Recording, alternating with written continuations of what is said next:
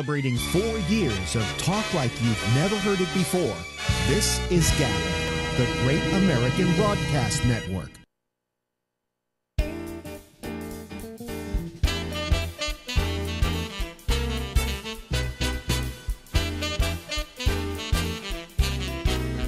Hey,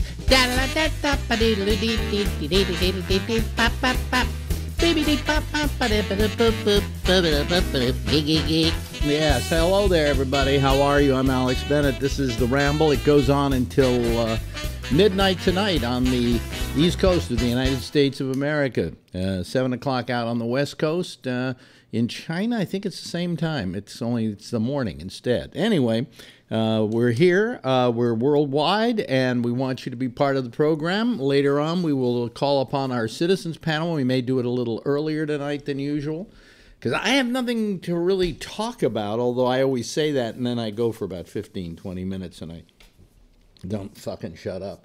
Uh, anyway, um, let me see. Where do I where do I uh, where do I start? Boy, I you know what happened last night? I went to bed about two thirty in the morning. Here, that's about average for me. Two two thirty, sometimes three. Uh, which means that if I get my eight hours sleep, I would wake up at ten thirty. I woke up this morning at eleven thirty eight. I slept over nine hours. Why? Is this really the onset of old age? Am I going to be spending most of my time? Let me turn on the fan here so I get a little cool coolness on my body. Uh, is this going to be a, a, a, new thing with me? That you know, first we got the pants, you know, right? Then we got the we had the old man's cap. I'm not wearing that tonight. It's it's getting there, right? I'm just sleeping a lot. I slept a lot. I you know I have no idea why, but anyway. So I spent here. You know, you say, Alex, you know, you have such an exciting life, and I suddenly realized I used to have an exciting life. Just like I used to be a big shot, I used to have an exciting life. I could tell you, hey, today, guess who I met, or guess who I had lunch with, or guess what I did. But I can't do that because I really don't. You know, all the people that I have known, who I work for, and whatever, they never check in to say, "Hey, Alex, how you doing?" You know, I have a few people in my life like that, um, but they're far and few between. So I don't. Uh, I, I, don't have during the day. I don't do much of anything. I uh, I watch uh, all the shows that I didn't watch the night before. Uh, like to, tonight, I'm going to watch uh, my Gotham, and I got Big Bang Theory, and I got Mom. This is a big night. Uh, and there's one other show. I can't remember what it was now. Oh, yeah, I, I watch Young Sheldon. You're watching that at all? It's not bad. It's kind of cute. Um, it's kind of lovable. It, it's really different than Big Bang Theory, but it has a kind of a, what does it remind me of? I don't know. Doesn't matter. But anyway, so what do I occupy my days with? Well, some days when I feel up to it, I do some work on the on the site or on uh, Gabnet. And other days, I don't do a goddamn thing. Now, lately, what I've been doing is we have a Roku channel. In fact, we have two Roku channels. We have Roku channel in the old flavor, which is done with a thing uh, called uh, uh, Developer SDK. Uh, I think it has another name now too that they use, but it's it's the one we use. Uh, and um, that is Gabnet Live is how it how, you can find it. If you if you have a Roku, just go in there, just type in Gabnet and Gabnet Live and the other Gabnet, which is Gabnet TV, will show up. Gabnet Live, you have uh, the uh, live programming all the time going through there. Uh, you have each of the shows from the night before on there. You also have Michael Snyder's movie reviews. Uh, we've got the Arena, the sports show there. Um, uh, we've got a whole thing of old interviews that I've done over the years. And then there is a thing where we have, uh, uh, it's called Uncle Funny's Chuckle Hut.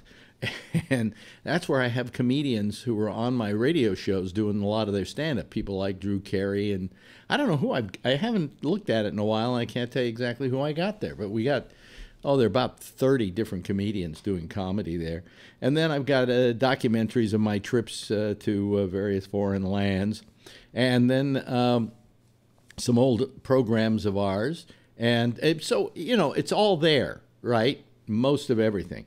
But then I started this Gabnet TV, and what this is is this is a site using a newer uh, Roku format uh, that is um, it, it's it's it's to begin with it's ideal for 4K. If you've got 4K, until you start watching one of our videos, which were shot sometimes in lower than SD, uh, you can go over there and and take a look at that. And we've got um, we've got all a bunch of shows that we did after I got fired at Sirius when we went over to the TV studio and did the thing as a TV show, which was a, really a big mistake on my part. Uh, it was a big mistake on my part, not because we didn't do a good show, because if you look at these shows, they're terrific. They're really good. I, I was very happy with them. But what we didn't think about was that when people watch TV, okay, they're going to use up a lot of bandwidth. And we were doing this at, uh, when were we doing it? We were doing it at 10 o'clock in the morning. Uh, and doing it at 10 o'clock in the morning uh, is the middle of the day, so people had to watch it from, you know, their home or whatever. And if they didn't have some Wi Fi, today would be easier. Today you got a lot of Wi Fi everywhere. Back then, there was Wi Fi, but you usually had to take it off your your data plan on your phone or whatever. It was just it was it was sucking up too much data. All right. So uh, what I should have done the day I left there is I should have come and started this, which was just audio, which is then changed into doing video because we can do video easier and you're not you're not using up a lot of bandwidth doing you know watching this on YouTube because you're at home uh, you got Wi-Fi. If you're out somewhere, there's some Wi-Fi where you're out now. Uh, so it, it's it's easier and better. Plus, if you don't want to watch the video and you don't want to suck up bandwidth, you can always just you know go over to our gabnet.net page, click on the upper uh, thing, and you'll just get the audio version of the show, which is the audio portion of what we do here. Uh, I like to think of this as a radio show that we just give a visual to. But what's happened lately is a lot of people are starting to just watch the video because they get over to gabnet.net. And right now, if I go over to gabnet.net, it better be happening too.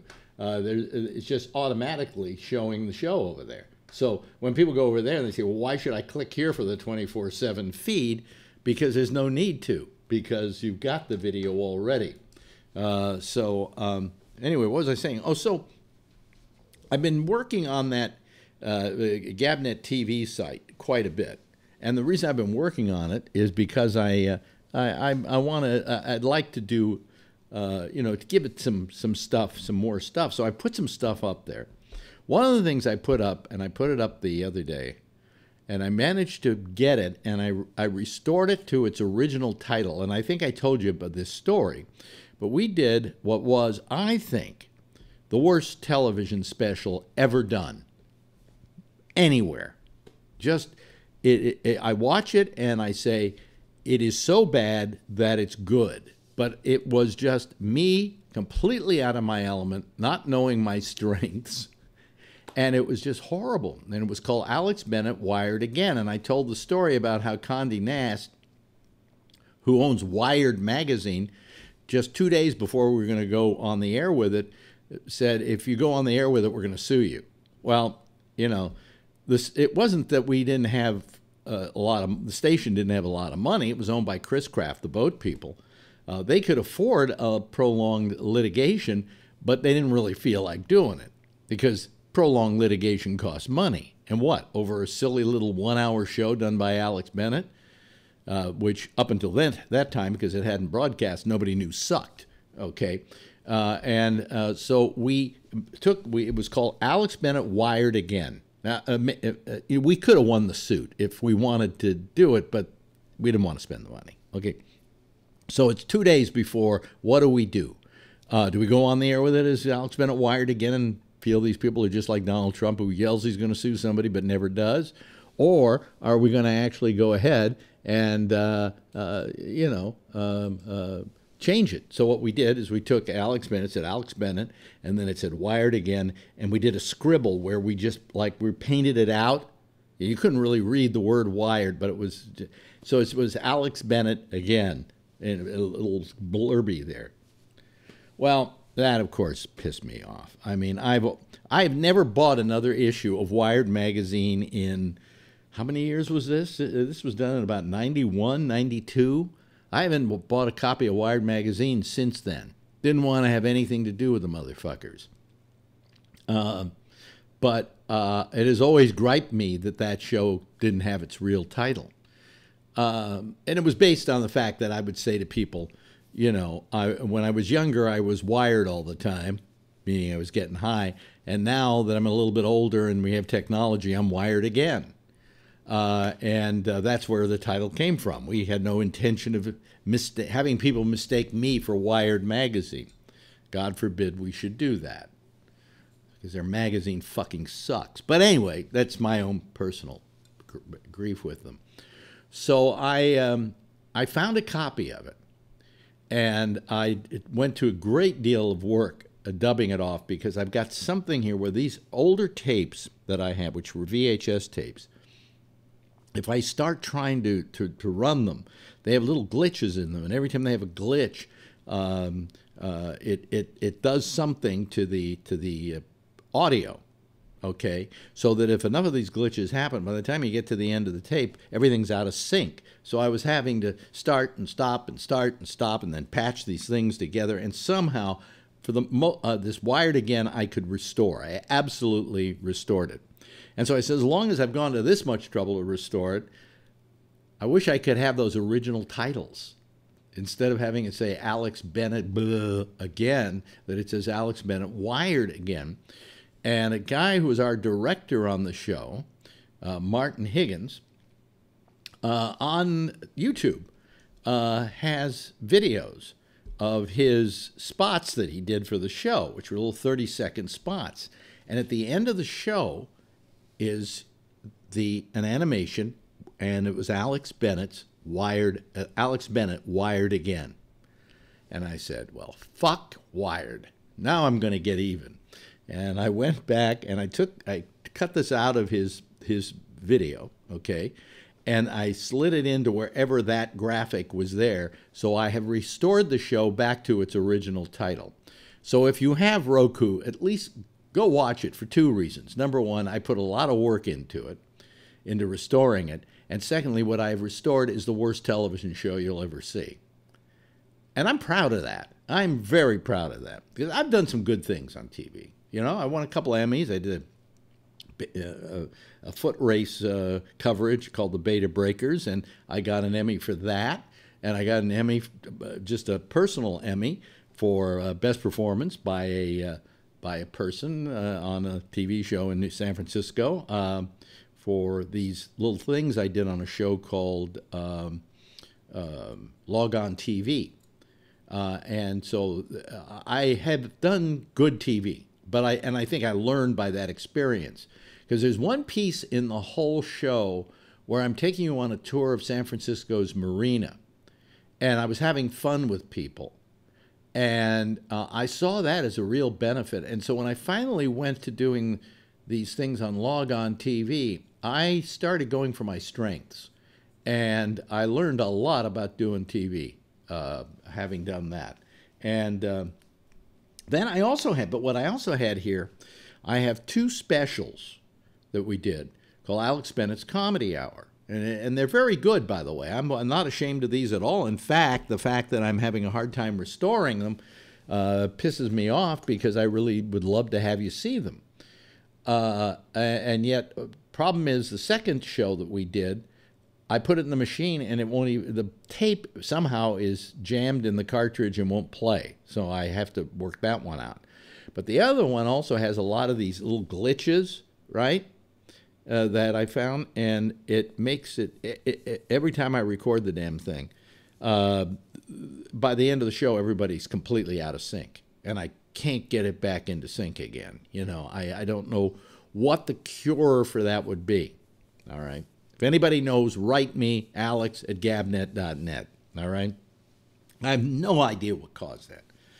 So I can't, um, I, all day long, I must have watched this special two or three times, three, three, four times, uh, trying to make a copy that I could put up at least, you know, of at least the first Alex Bennett comedy hour. The second one was great too, but the first one was really good. And uh, damn it, Uh, I, I cannot get that. I spent all day trying to get that thing in sync, and I can't get it into sync. I was using different pr- programs to bring the pr- bring it in, three different programs, and all of them it goes out of sync. And it, it it doesn't go out of sync when I'm watching it. It goes out of sync when I play it back. So I don't know what the problem is and uh, I need bigger experts than myself. Here's what happened. Years ago, I had a really nice machines that I bought that were editing machines, video editing machines, professional machines. Like they were three thousand bucks a piece, and they had time-based correctors in them. And this this would take your signal that was in on your tape or whatever, and then it would go through the time-based correctors and it would send out a absolutely smooth signal. Well, I had one of those machines here, but uh, so many years had gone by that we hadn't used it that it wasn't working anymore, and it wasn't worth repairing either. So I threw that out finally. It wasn't. You couldn't play a tape on it. Uh, there was some electronic glitch that went on. So uh, if I had had those one of those machines, I probably could have could have done this. I probably could have done even the bad one that wouldn't play. But you know, so that that's what my days are. You know, it's restoring my life so when I'm dead, there's a record of it. You know, and uh, but what I just found is a perfect tape that doesn't glitch and probably will play all the way through of one of the Alex Bennett Play TV shows. And, and, and unlike the one that I already have up on uh, uh, Gabnet TV, um, this one is higher quality because it was done in SVHS. And uh, it, it's a show we did with Eddie Fisher, you believe? Okay.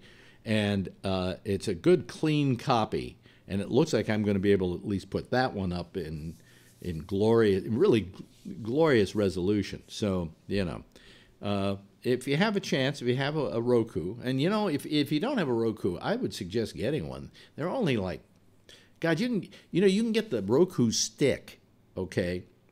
This is just a stick with it with an HD. What is it? A, a, a just a USB is it USB? I'm trying to remember if it's USB or it's a or it's an HDMI, but it uh, it uh, you simply plug it into the back of your TV set, and you've got yourself a Roku. It does everything the big Roku's do, um, and um, or you can get yourself a and they're like 39 bucks, and then the regular Roku is something like 79 bucks, but I think they're really worth having.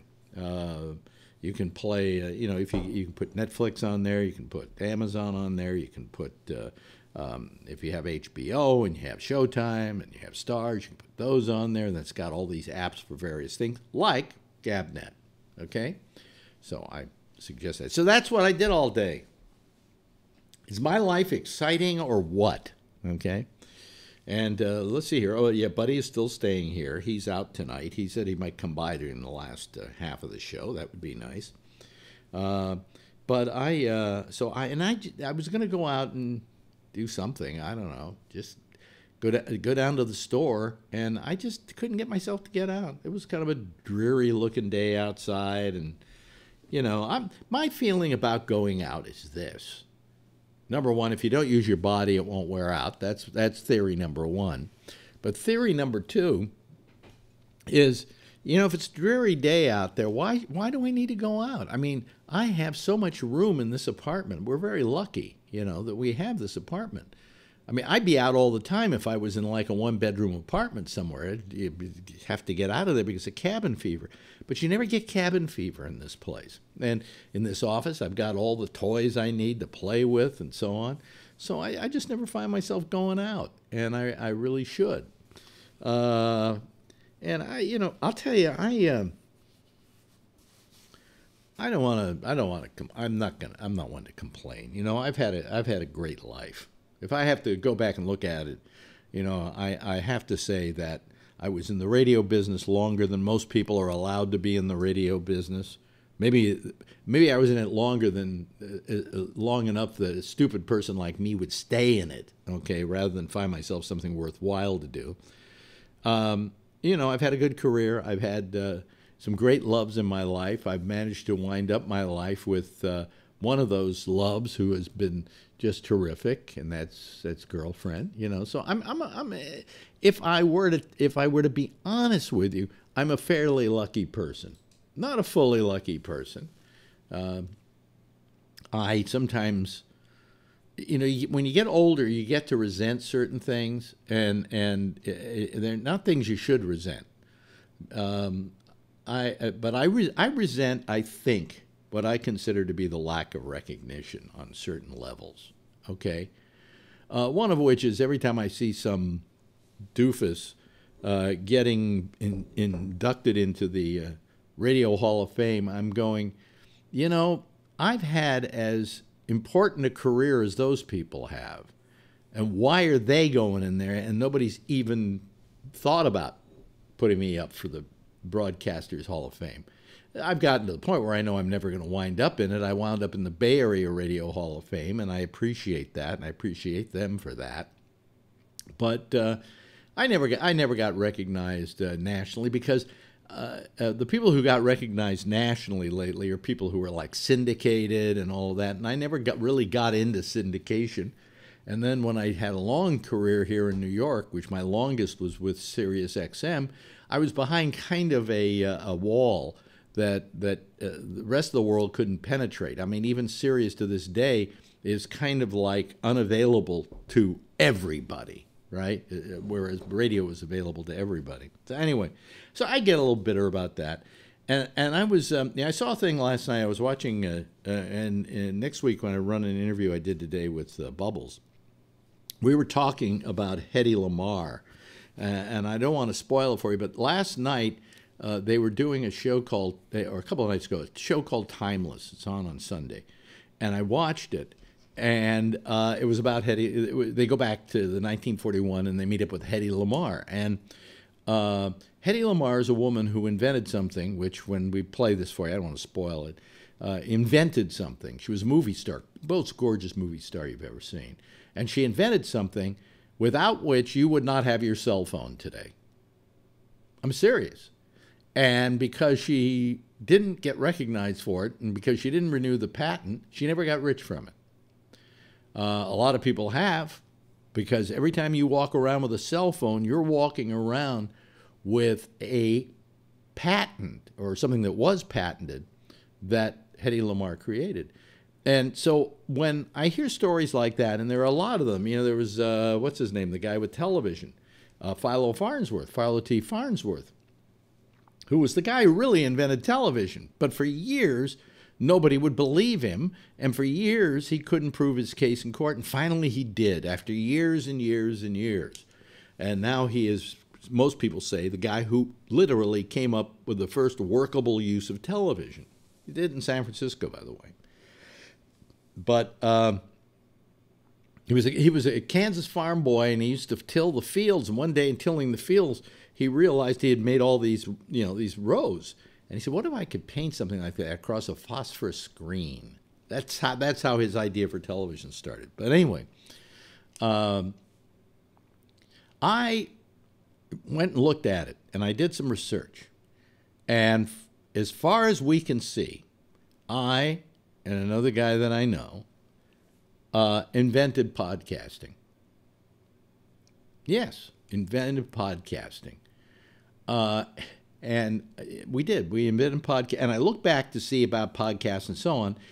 And the, the closest thing to a real podcast started to happen about, as you know it, they claim, if you go online, happened in like, uh, uh, what was it, uh, 19, in, uh, uh, what was it, 2001, something like that. In 1998, we were doing this thing where I would, I didn't have, I was out of work. And so I, I wanted to do some kind of show. So, like I'm doing here, I went on and did a broadcast. But it was recorded because I couldn't do it live. It was very, it was very expensive to do it live in those days. And um, I couldn't do it live. So I recorded it, and then I put it up on my site. And you could go to my site and you could download the file onto your machine if you wanted to and listen to it. Well, this guy, this other guy came along. Uh, I'm trying to remember his name. My mind is such a blank these days. I, ha- I have his name here because I was dealing with him a few days ago on stuff.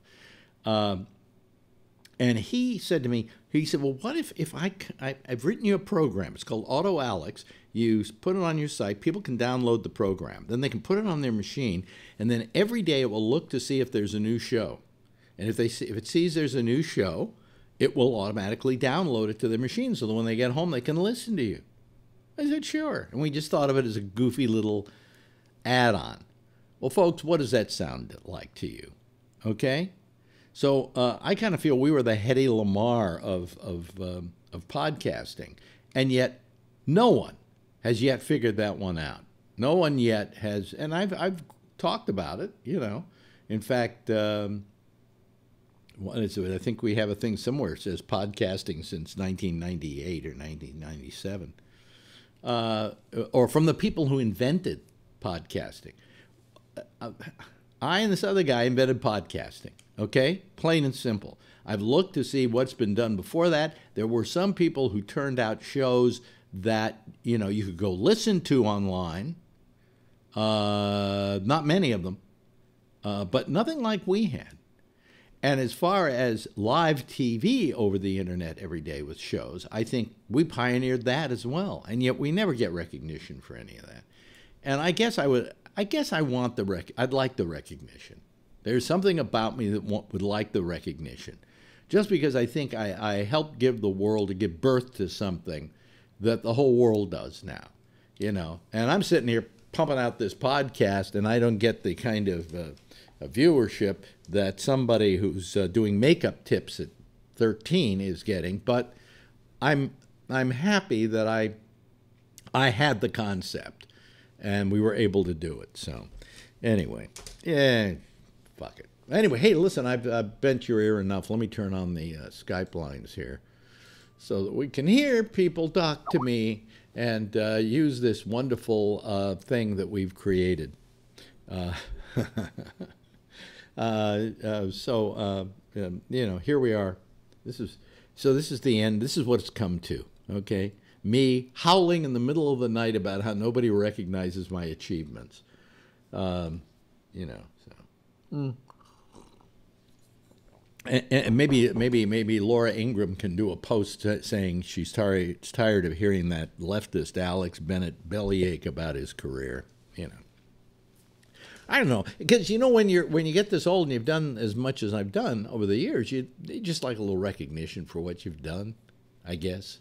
You know, uh, it's not going to matter in a few years. I'm going to be six feet under. I'm not going to be at room temperature any long. I'm going to hit room temperature rather, and and and uh, it won't matter at all. But it would it would be nice if there was something that was lasting after I was gone. But I don't think there will be, and. Uh, I, I think that everybody uh, in their life uh, would like to have something they leave behind that people remember them for.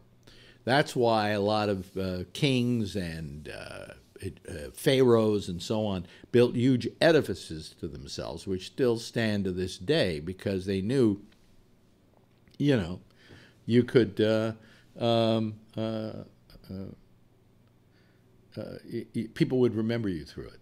And so, eh, I guess I'm the same way. Anyway, our lines are open, and I'm sitting here babbling, waiting for somebody to call. And uh, nobody's. Oh, there! Here comes. Here comes uh, Scott Boddicker, and adding to that group is Ray Renati. Uh, uh, yeah. Oh, well, we can we can hardly see uh, Scott because Scott is in the dark. In here, isn't it? Man, yeah, it is really dark. in my room. I don't know why that's so dark on the screen.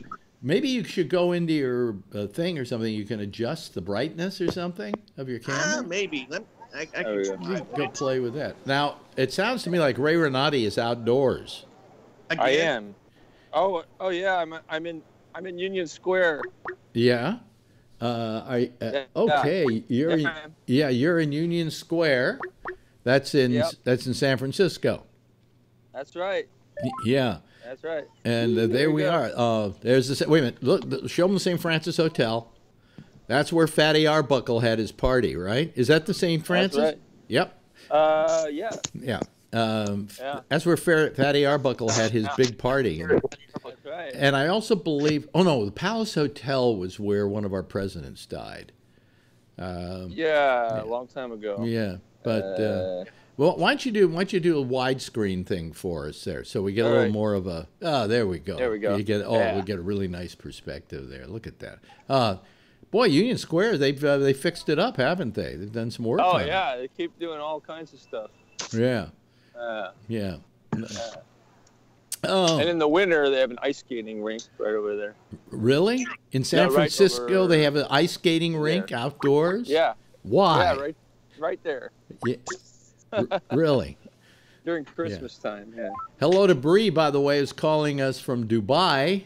How are you, Bree? Yes. Good morning, Alex. Hey, good well, good morning. Is absolutely it is morning where you are. So here you've got in San Francisco outdoors at Union Square. We've got Ray Renati, and in uh, B- Dubai we've got uh, we've got Bree. So you know, and then Son we've got from Texas we've got Scott Boddicker, and then Phil has shown up here. How are you, Phil? Hey, It's nice to be. Did I reach Prostates Anonymous? I don't have one anymore. Oh wait a minute it's not today. anonymous though. That's Wait a minute, today you went in I to wish get- it was anonymous. You went to get your tube pulled out, right? Uh, uh, get uh, yeah, the tube got pulled out today. It, it sounds like TMI for Ray. Ray Ray's protesting. No, no, no. I, I was actually listening to yesterday's show uh, on the drive up to the city, so I know all about it. Yeah.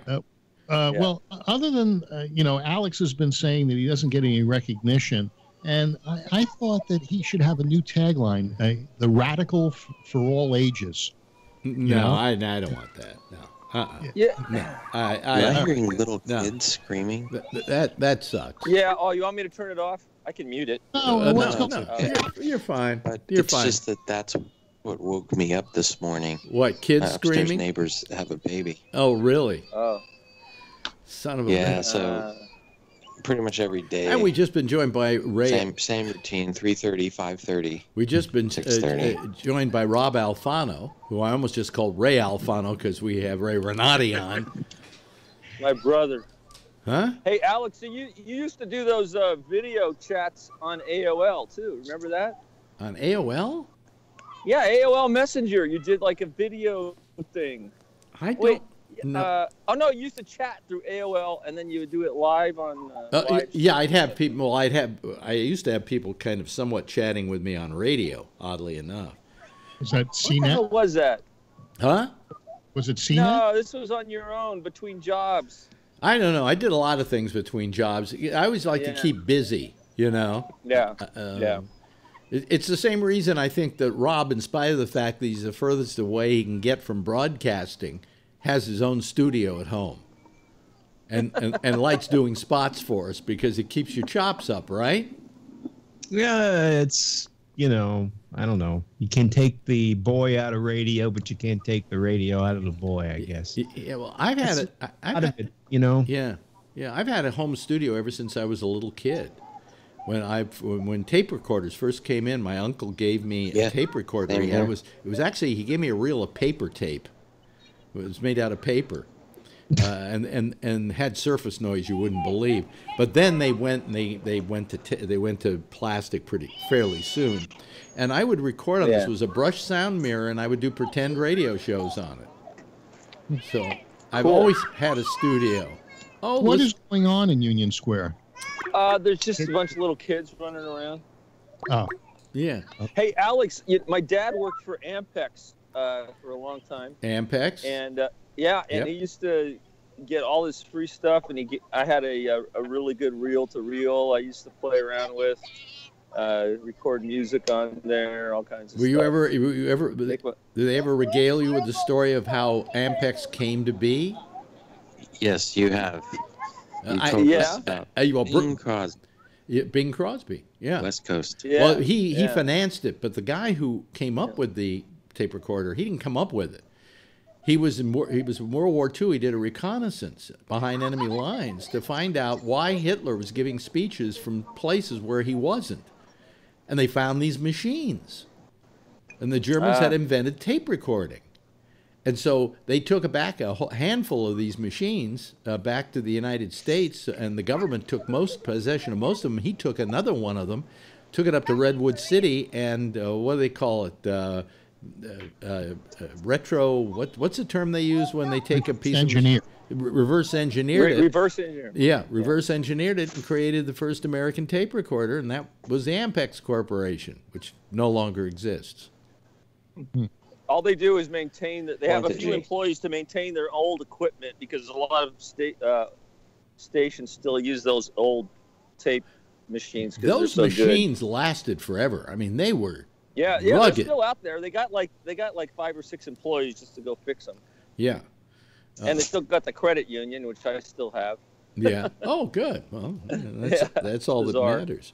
Um, so, well, good. Yeah. that's terrific. Yeah, Hey Ray, you know yeah, we've got people in Hawaii that shine their camera all around and show us whales. yeah. You want to show us Union Square? He just sure, did. sure. Is there a way to turn it around? Let me see. Uh, Uh, Yeah, you Yeah, can. Yeah, just the button. there's oh, a, I see. I got it. There you go. Okay. And then uh, you know, that. Uh huh.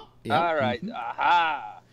Now you see, there we are. It's getting to be evening because the lights are on everywhere. Yeah, it's it's beautiful out here. It's warm. Yeah.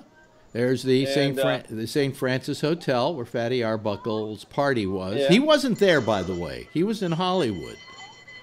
Uh, Oh. he did not do what they were claiming he did, but Hearst loved the story so much he. You want to talk about fake news? That and listen, there's the cable cars you're listening to. Yeah, that's right. It's right over there. I feel like Rice-A-Roni all of a sudden. I'm not sure why. Yeah, Rice-A-Roni. the Let's see what San we got over here. Francisco treat. There's Macy's. Y- Yeah, yeah. Not the Macy's. That's but that No. Macy's has been there since I think about 1950. Oh yeah. Uh, but but that's not the original Macy's. The original Macy's No. is here in New York. Uh, Yeah. And it's and they it- used to yeah. they used to have a Walgreens around the corner that was huge when I was a kid. Everyone went there, and then they closed it. Wow. Oh, it- look, wait a minute. We can even see them. Is that the moon we're looking at? Yes, that's the moon right there. Wow. Sounds like a, a Yogi Berra line. Everybody went there, but then they closed it. Why would they close it if everybody went there? I don't know. I don't know. But uh, uh, you know, they've been telling me that San Francisco has these really tall buildings now, but I don't see any Oh. evidence there. Okay. Oh, it's too hard to. Okay, there's Salesforce.com building, and you can't see it from here, but it is. It's it's blocked. Uh, I think it's right behind the St. Francis Hotel. No, really? can't it's behind there. Yeah. You can't see it. It's it's huge, Wow. Alex. It's like you can't even Yep. believe it. Well, we have Uh, we, we have these new pencil-like buildings that are going up in New York I saw that. that everybody hates. Yeah, they're ugly. Yeah, they got a take Anyway, a face on on the end Wait a minute, what, what are you saying, Rob? I said they're harder to hit with airplanes. Are they really? Well, that's why they make them so pencil thin. I see. you, know something interesting? You look at the Empire State Building. I don't know if you've ever paid attention to it, but you notice how it's tiered as you go Yeah. up. You know why mm-hmm. it's tiered like that? Wind? No, they had to do it because the city made them do it. Because if they had simply a flat surface going all the way up, it would have cast a sh- too big a shadow. Huh. So I this would, they, they changed that when they built the Twin Towers. Uh, and when Twin Tower, well, they didn't care what was going on downtown. And by the way, when they put those those in, people thought those were the ugliest goddamn buildings they ever saw. yeah. No. You know. I'm, by the way, my ear is getting infected from wearing these earphones every night. I, I, I don't know what I'm going to do about that. Ah, Put on a pair of headphones for a while. uh, uh, Uh, yeah, I there's some could. stuff you can use called ear gene. Ear gene. What's it called? Uh, and and what you do is you use a Q-tip. You, t- you take a little. You put you put it around your ear, and it keeps it uh, from rubbing.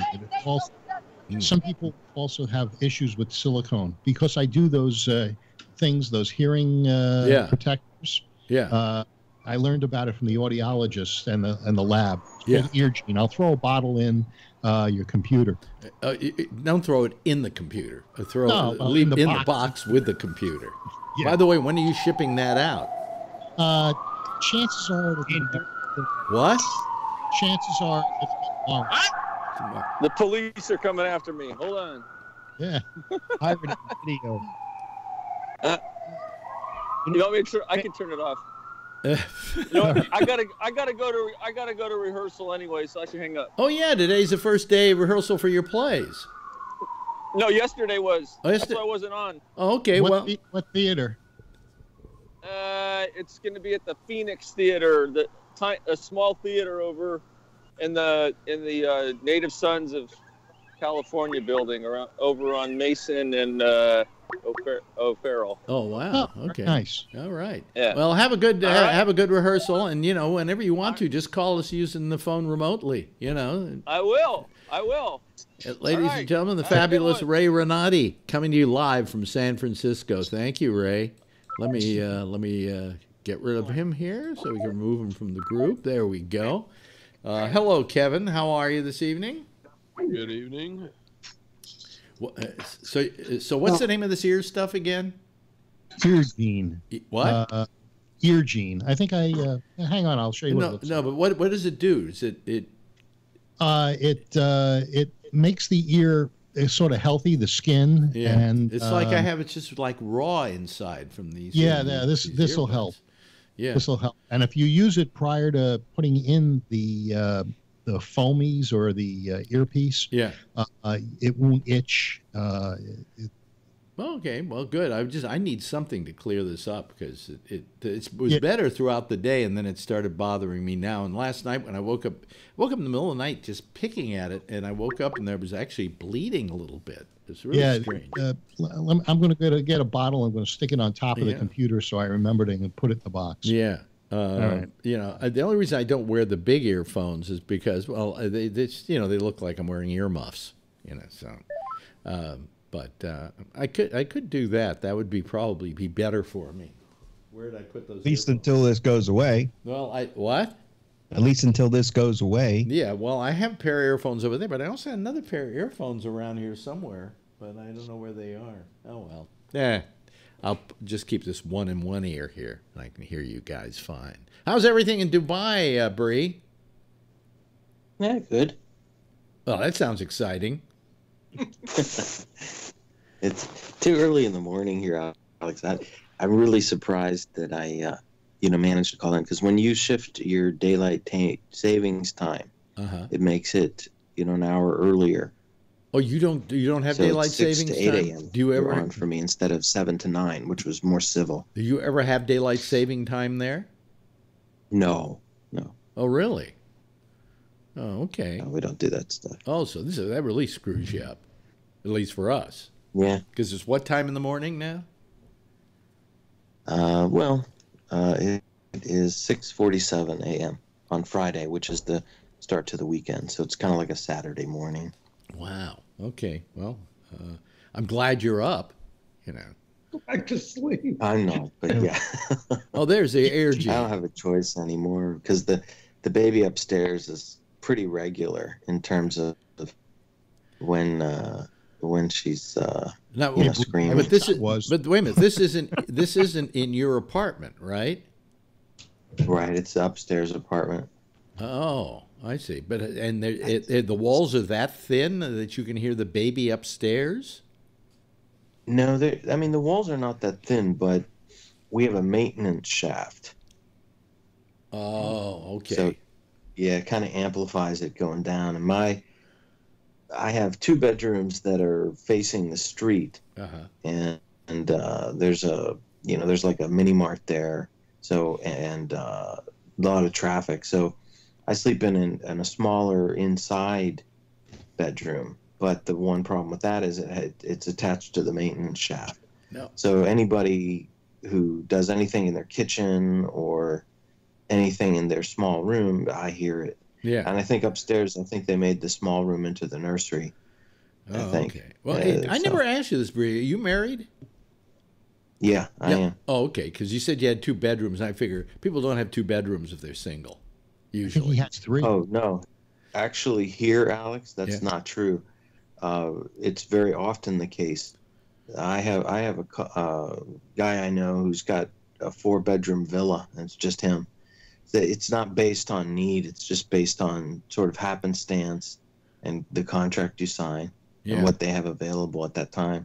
Wow. Hey, uh, Tony's joined us this evening. Tony, what were you, what were you putting around your shoulders? Are you cold? I have the window open because I'm upstairs by my mother's because she's driving me nuts tonight, actually.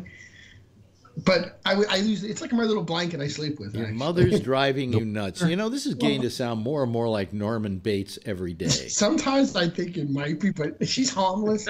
But Alex, I don't want to hear about my aunt's problems. They have no problems. Who who doesn't have problems? Oh, you, you- My aunt's fighting with my uncle. He's cheap, Alex. The guy's cheap.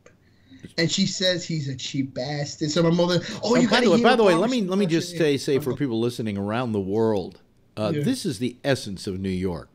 Yeah. Tony and his mother's complaints about her Barbara sister. hates my uncle, which she's right, Alex. Huh? He's my aunt Barbara can't stand him because he's so cheap. he's just Alex. You would vomit if you met the guy. I just love this. I just Yeah. love this. So my mother's like, you gotta hear what she's talking about. So I got it the thing that you have, Alex. I you know the Alexa thing that you could, because my mother has a hard time dialing. So now she could just say, Alexa, call Aunt Barbara, and then the number comes Oh, up. don't say that word, please. Oh, it goes off. yeah, in his house. Yeah. Well, no. First Here, here let me it tell you. Alexis. I know somebody crazier than you are about Alexa, uh, uh, Bree. My friend Shecky. He got himself an Alexa. Oh yeah. and yeah. he decided he He really liked one? it. And then uh, he decided to get he, he oh then a bank said if you spend five but get our credit card and spend five hundred dollars in the first month we'll send you a free Alexa and one of the dots. So Oh, he he did that. So now he's going to get two it. more, and then I he got 'em all. decided to Oh, get you- an he decided to get an Echo Show. Oh, I love it. Oh, I have two of them. I have that Echo On Echo. sale now. I have the Echo Spot. Oh, you got the spot. How I love the Nice. spot. I love it. I, I, you know, for years I've had a clock radio next to the bed, and this thing is so much nicer and better and does more things. You know. Yeah. Yeah, So Yep. it's. I heard the price of the Apple thing's coming down. It- better. One coming No, out. they're too late. Uh, I heard it's good. You know, the, and everything else. Nah. No, no. What, what's good about it? Tell me what's good about it. Hey, I'm just uh, miming the, uh, yeah, I- Apple people. well, no, but what, what what's good about it is it has great sound supposedly, but mono, mono. Okay, you got to buy two of those things to get stereo, and they're not yet set up so you can use two of them for stereo, and that would cost you six hundred dollars. All right, it only uses Apple stuff. You know, it's not as wide ranging as Alexa. Alexa is seventy nine bucks for crying out loud.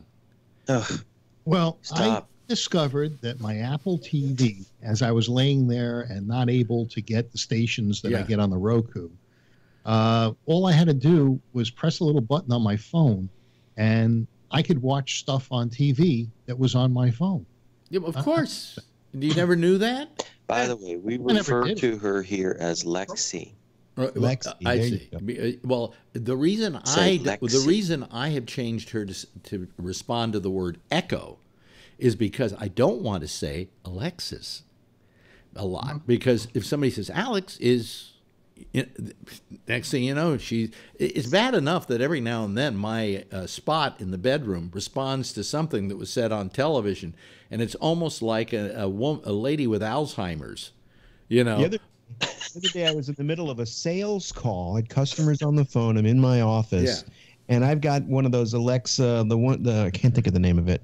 You press the button, but you can also. I- I've I've disabled that. the- Not the tap. Oh, yeah, the tap. tap. That's right. And um, and all of a sudden, I was talking and I'm doing my spiel, and all of a sudden, Alexa goes, and everybody went, "What the hell was that?" really This gave me like the raspberry. I couldn't believe. It. I was like, "What the hell is that?" Oh, my mother was calling it Alexis. Well, she, was she was fucking uh, laughing. Well, I mean, the thing is that, that with with with the thing, it, it here's something on television, all of a sudden it'll go.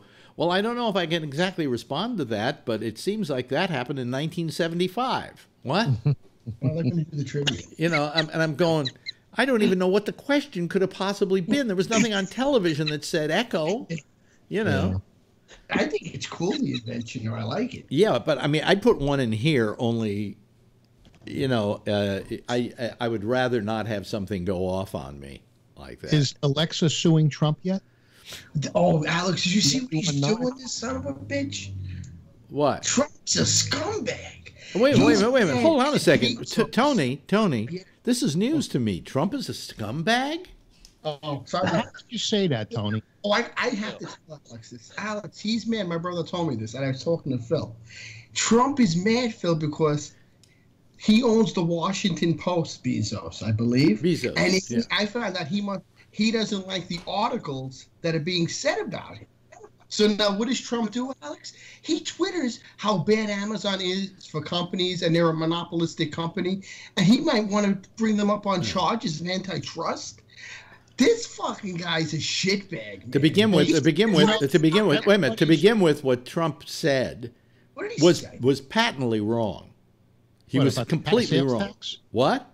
What about the sales taxes not They- being? wait a uh, minute. I got news for you. I pay sales tax on I pay everything. sales taxes. Yes, so do no, I. when you order Originally, Yeah. Okay. we didn't. Alex, Yeah. you order XYZ Yeah. uh, through Amazon, and uh, there was no sales tax on it because it came from some third party. Well, because they're dealing with a third party, and you got to deal with that third party. But so far as So- Amazon is concerned, on anything sold directly by Amazon, they not- collect. they collect. They no, they pay. Uh, they collect taxes from you, and they pay the gov- the applicable taxes to all the states. So they they are are But they did they're doing their part. Right. They I've just, been a member of party- Amazon What what what did you say, Bree? since they first started. I- I've been a, uh, a customer of Amazon Yeah. literally from like the first day they started. Uh, I've I've got to be one of the first. Uh, too bad I wasn't one of the first stock owners. That would have been better. But uh, they you didn't pay taxes for the first No, several you years. didn't. You didn't. There was no tax on uh, internet. Uh, there was no tax due uh, by the seller on internet transactions for many years. right. But what happens is, if you buy something on the, on the internet and they didn't charge you the tax, you're supposed to pay. The You're tax. supposed to pay Have it. you Yeah. ever done it? Well, Who has? How would you keep track of all Yeah, that? but what you're talking about are the third party sellers that they sometimes represent, and it's up to those third party sellers to charge the tax, not So not what- Amazon, because what Amazon has no way of paying those taxes because they No, but you want to force them to, uh, I guess, through their agreement, to uh, make them charge the tax and and no, but they're the- but they're not they're they're acting as a second uh, as a third party. These people are third party sellers and not Amazon. Anything you buy from Amazon, all that that was a mistake. You know what the other big mistake was that he wrote? Yeah. that it's that it, they're getting they're getting their deliveries cheap from the post office. Oh yeah, did you hear? I that? heard that. Yeah, that was that was that was patently wrong. Number one, number one, the post office, in order to get their business, had to, like any of those other companies, UPS and FedEx, uh, bid for their business. And if they gave them the right price, they went, okay, we'll start shipping through you as well. Let me tell you now, I do not get a single piece of package delivered to me by the United States Post Office from Amazon. I do. You're probably going to get this computer. Anything, Just the smaller anything. No, anything but- that Wait, comes in, wait, wait, hold on a second. Uh, First, Rob, then Jeff. Yes. anything that comes in an envelope, like I just ordered uh, a bunch of coffee filters, Melitta coffee filters. Those will come in an envelope, and they'll come via U.S. mail. And the thing that aggravates you about it is, because we're so used to seeing it by the door. There have been days when I'm like, where the hell is it? Because I don't check my mail every day, Right. Right. and it's in the mailbox. Well, I had so much trouble with the United States Post Office, I complained to Apple. And Apple said, well, it looks like you've complained a lot about this, so we're going to give you the option. You can opt out of USPS and we'll send it UPS or FedEx. And I said, fine. And since then, I've never gotten anything that I ordered. Uh, I think maybe one or two things that came directly into the mailbox because they were mailed through the, the, the there are certain items they say they still have to mail through the post office. So, which, which one of those services do you prefer? I prefer UPS. All right. Yeah. They Uh, also do what they call a po- post assist. They'll start it in UPS, and then it gets to the local post office, and ends up in the post Right. office, and then comes to you. well, my it'll my, your my local local post office, my local post office is so fucked, Kevin. Oh, ours is screwed up yeah, too. It's that terrible. that uh, I asked uh, to not have that happen. And what happens now is those small packages that can fit in my post office, my post box, do come by USPS. But any box bigger than that, it's in front of my door. You know. Yes, Rob. Yeah. What what's the uh, the post office saying? Neither rain nor snow nor sleet nor what is it? How does that go? Neither Anybody rain nor sleet nor snow uh, will have us deliver it anyway. You know, Well, I mean, I've got a postman who, God forbid, you know, we have the mailboxes that you know the, the old fashioned ones that are out on the street. yeah, And they they go to each house, right? right. The other day, and anytime you don't park your, if there's a vehicle parked in front of your house that's too close to your mailbox, they don't deliver the mail. Right. They'll do it in rain, snow, sleet, or anything, but they won't get out of their fucking truck to put the mail in my mailbox. They just Right. they got And, and my question is, why the hell did we put the why why the hell do we put the steering wheel on the other side of the car in those for those post office trucks? Because so they can get out on that side of the car to deliver the mail. No, that's the side the post boxes are on. If Yeah. you're on, you Yeah, drive on the that's right, what I'm saying. Yeah. But they won't- they don't if- have to get out then. if if it's three feet away for the three feet that he could pull up to my curb because my mailbox is really right next to my driveway and there's never a car parked in the driveway or in front of the driveway he'll go right by it because there's a car parked in front of the house too close so that he can't get close enough to the mailbox Well, I had the I had the problem with the post office not delivering stuff and then sending me a message saying nobody nobody was there, and I was here. I was here when they tried to deliver. Oh yeah, they I didn't get that even all ring the up. time. Yeah, Now, Amazon, they leave the package, but they knock on the door uh, a couple of times. Yeah. Uh, boom, boom, boom, boom. They leave the package. Even if I was standing at the door and opened it, the guy's gone by Oh, the of course, but but, uh, but that's a courtesy. That's that's. But anyway, the point is, you know, the po- and so far as uh, Amazon is hurting businesses, uh, it's because they have a business model that people have, uh, you know, have grabbed onto. It's not like they were being insidious and trying to close down mom and pop stores. You know, I don't see him arguing about the fact that a super supermarket put mom and pop grocery stores out of business. You know, this is just the natural flow of businesses and the, the change in business and the change in the in business model. Well, yes, Bree. you know, Alex. Well, uh, uh, you know. Oh, wait a minute, I- Jeff. Wait a minute. Let me say something, Bree. Can you hold on a second? Because I because I said Bree. I said Sure. Jeff was going to be next, and then we'll go to you. Okay? Yes, Jeff. Okay, sure. Okay. We have a, a place called Ace Hardware Store, Mhm. and Yeah, we have that. you can deliver stuff there. So it's a post office right there Yeah. in the store.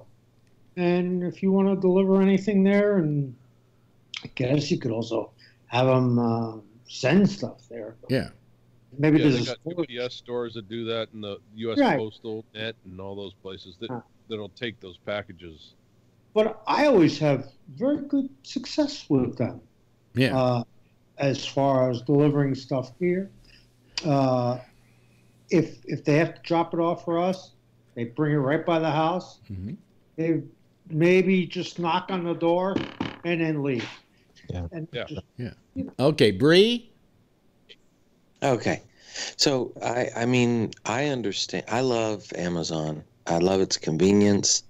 I love that I can and look up prices for things whenever I'm shopping somewhere. But at the same time, I also understand that it, it is possible for one business or one company to become too large or too big and, and such that it kind of becomes a monopoly Right.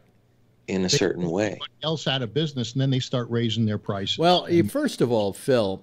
First of all, Phil, you're, you're you're talking about Amazon like they make all the products they sell. They don't. They are simply a reseller. They're they're a, they're a giant department store. They've started to.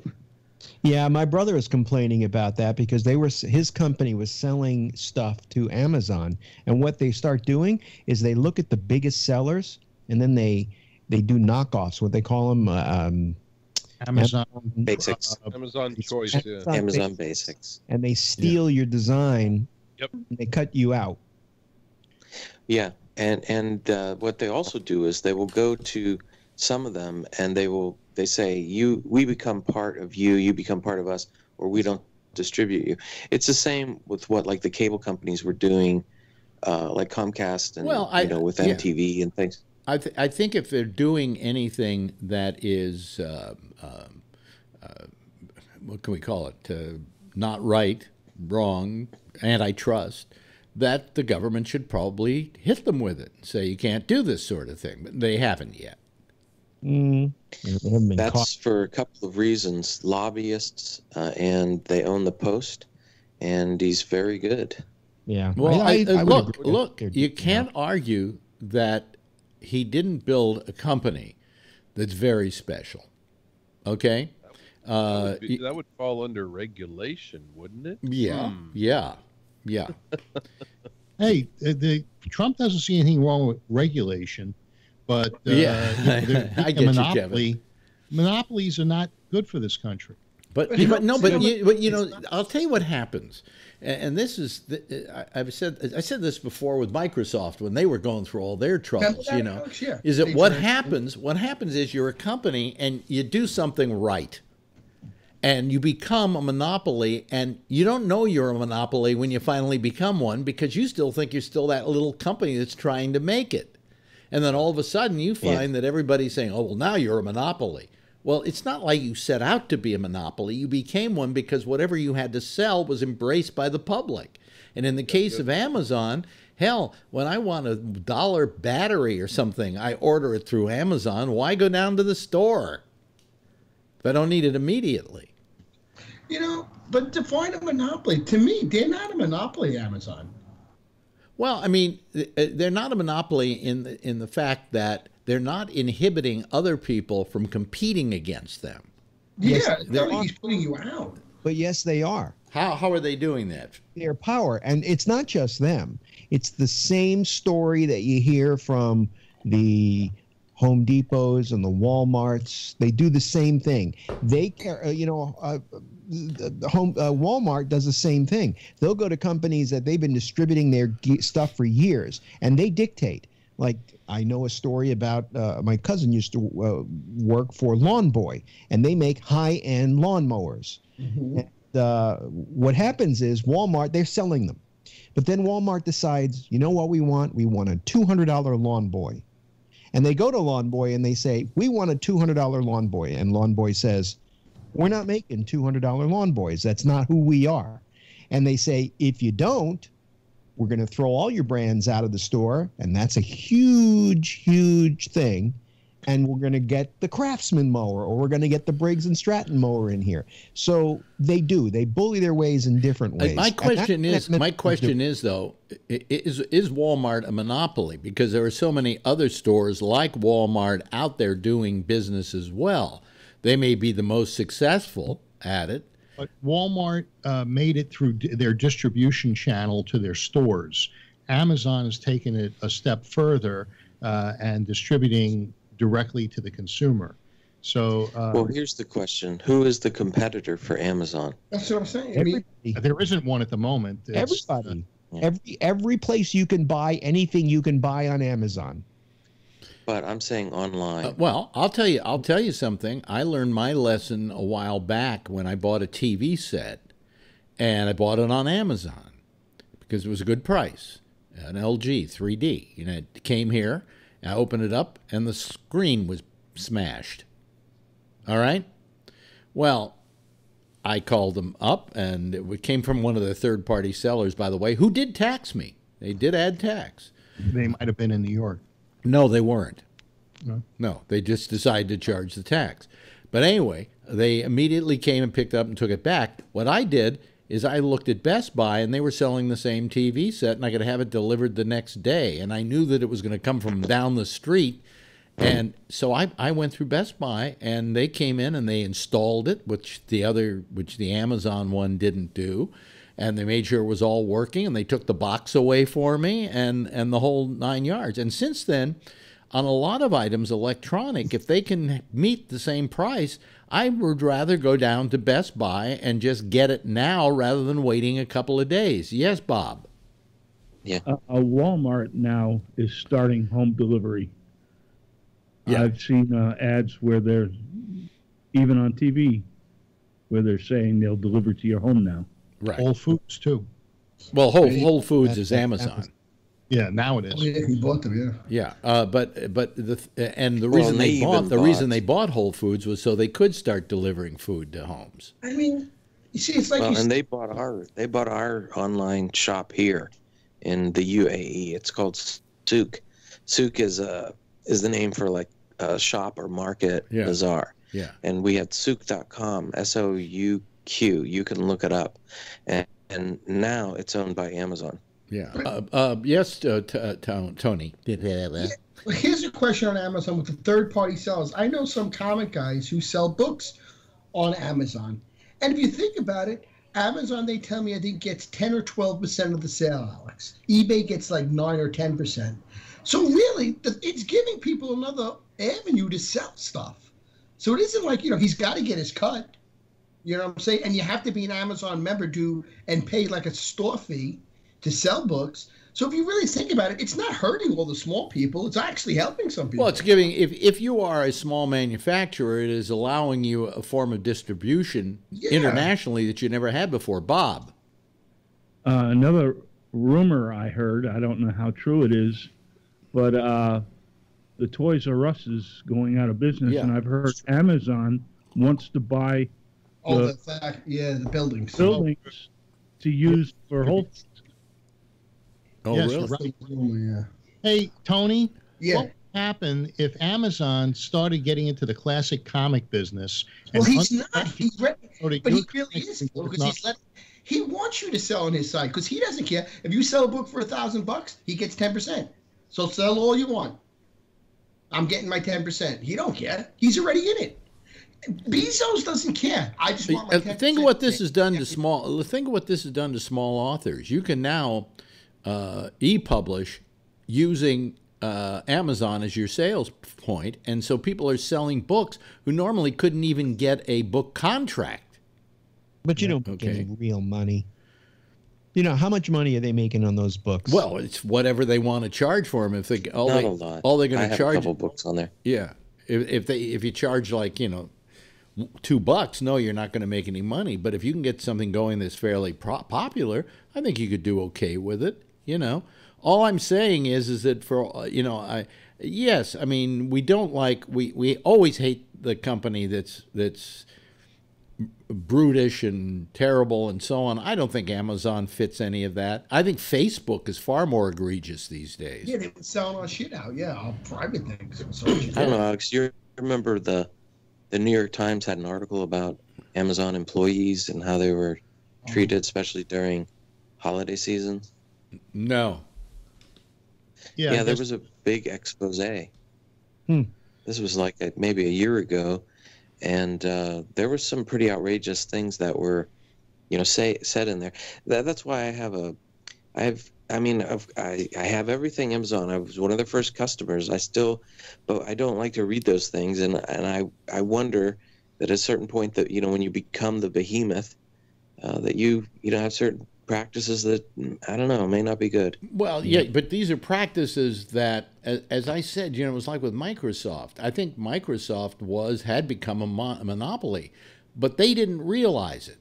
You know, because they they still remember when they were you know living working out of a small building somewhere, and so to them the company was never a monopoly, but there was a point at which they had responsibilities they never had before.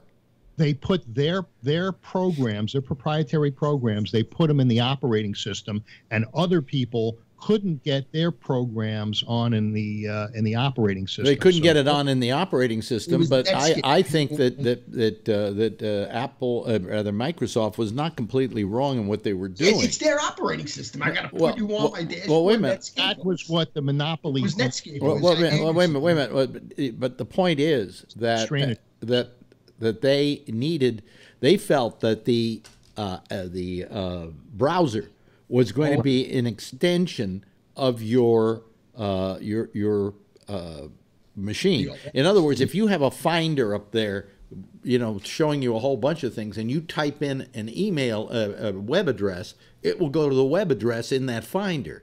That's what they f- felt was the need for them to be able to have all in one under the roof. You could still have Netscape if you wanted Yeah. it. You could still have any of those other doofus uh, Wasn't uh, Netscape browsers. that went after them?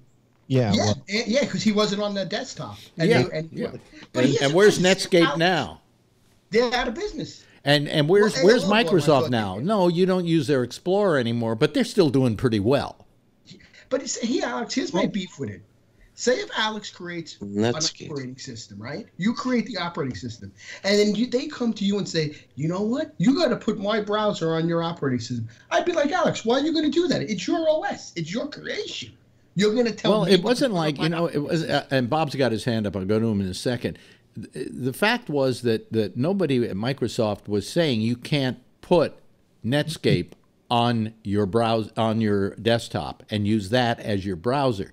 They just said that Microsoft Explorer is coming along with it because, and it wasn't like they were selling Microsoft Explorer. It's It's not like anybody was selling Netscape. It was They were all free. They Huh? felt there was Yeah. fair advantage. That's what they felt. They felt They like want to be on that desktop. I think Wait a minute. Let Rob. Let Rob Netscape- talk. Hold on. Let Rob talk. Yes, Rob. that everybody was going to use IE because it's built into the OS. So why download Netscape or Mozilla or any of the other browsers at the time? So they felt they had an unfair advantage. That's what they wanted. They they they didn't want it to be part of the OS. In fact, that's the reason why Microsoft had to stop putting Java engines. They used to automatically put Java. Yeah, right. They had to stop because that same situation. And so now you have to download it. Uh, uh, Bob Eberth. Basically, the best thing uh, Internet Explorer or Edge uh, is good for is downloading another operating system. That's right. That's what I think they get used the most for is you get your computer set up, you go on to Internet Explorer, and you get yourself a good browser. Well, Edge, when I got this PC or when this PC came and it was cr- clean, okay, and the operating system was in it, it had Edge in it already. Is it good? Uh, no, I never use it. Uh, you know, because I immediately download uh, Chrome and use Chrome all the time. yeah, Chrome's good too. I got that. You know, They don't. They're not standardized HTML that browser, and that's the problem with it. Well, the problem with all browsers is they're all different. I can tell you that as someone who produces a website. My website looks different on different formats, and I have to compromise in order to make them look similar on all of them. Right. You know, uh, I, on mine, if you go to uh, gabnet.net and you click on the thing that says click here to hear the 24 hour stream, on on Chrome, it puts a little player up in the up in the top of the uh, top of the screen, you know. And on another machine, it puts another page that takes up a whole bunch of space. On others, it doesn't even work. Okay. How Uh, come uh, when I listen to your show live on my cell phone, Yeah. I hear it about 30 seconds before I would hear it on the uh, Safari browser? I have no idea. I have no idea. You know, I the the the the, uh, uh, amount of time it takes for the signal to get out. Sometimes I find I have two machines playing the show. One is using Safari, and the other one is using Chrome. And I find the one using Safari every now and then I have to refresh it because it, it starts lagging behind Hmm.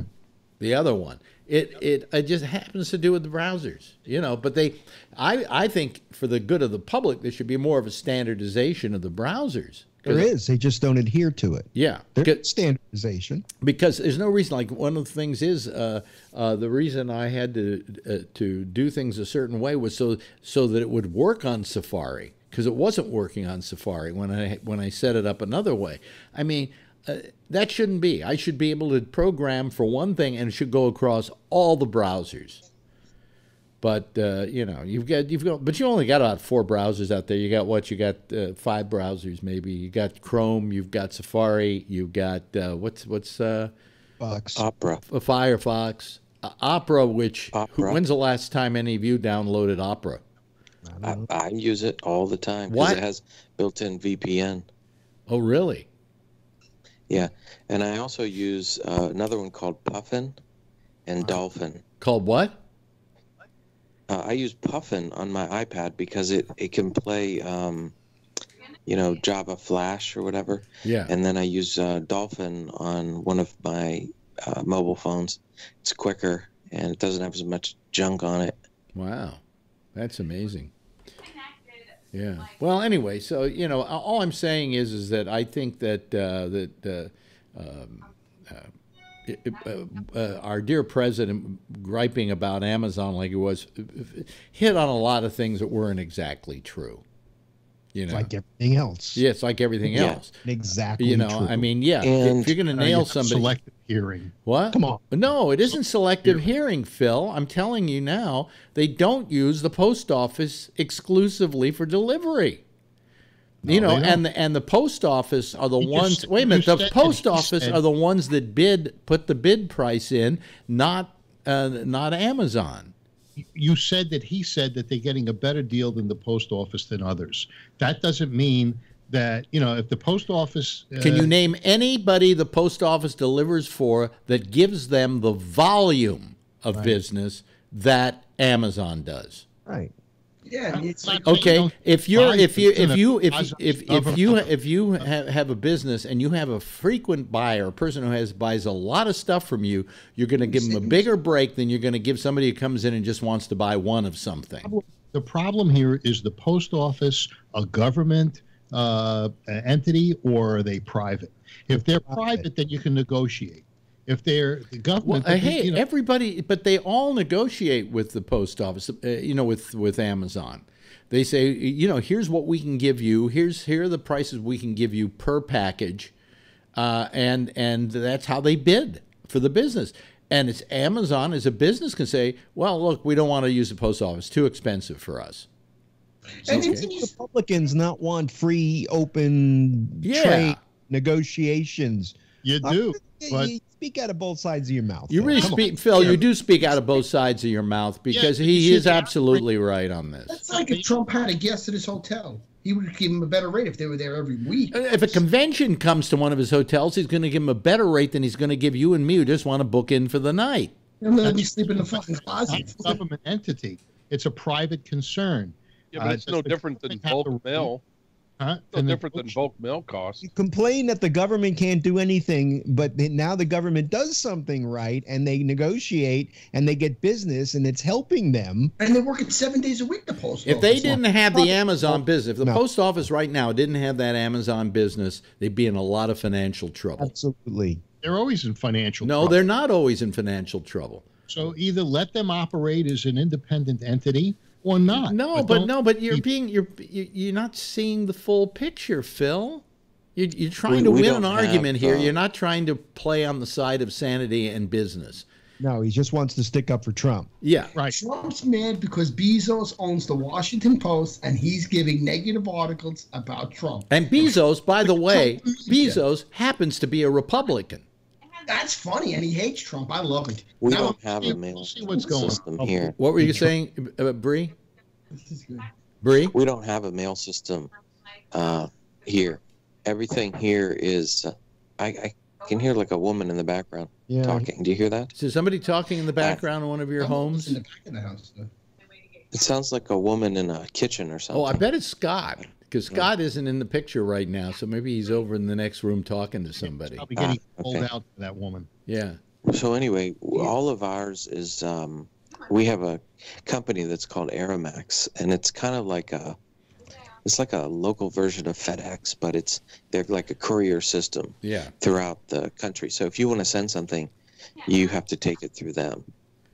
Yeah. There's no mail. It's funny. People always ask, you know, where do you live? And it's like, well, we don't have street addresses, so we don't have mail delivery like that. So, Hmm. you know, Did you hear about when you talk about street addresses where they assign a name or some sort of uh, uh, uh, several letters or uh, an numbers. Yeah, and and then uh, yeah. We have. It's called Makani. yeah So I can tell you, I can give you my Makani number for my building, and then that's how you can find it with the, the Makani app. Yeah we're getting something here you know where it's like uh, uh, velvet rose and that's able to take uh, people directly to your house uh, have have Hmm. you ever heard of that Uh, I haven't. heard Hey, of that. Scott, turn off your audio. Can you hear us, Him and the Scott? pepper uh, no they, he, he can't hear you They're probably fighting in the kitchen. i think he wears headphones I only have like a little. You're out of here, Scott. Should I hang up on her? She said she only has a little something. No, that's what Scott has. You got no people.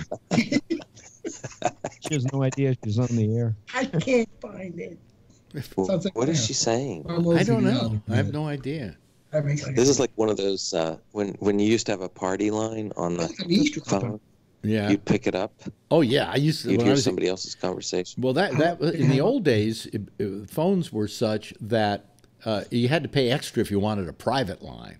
Oh, So if you wanted to just get a phone, Yeah. you were on a party line, and you pick up the phone, and there are two people talking, and you'd have to wait and hang up, and then wait a Yeah, bit and come I've back and see if you experienced get a dial tone.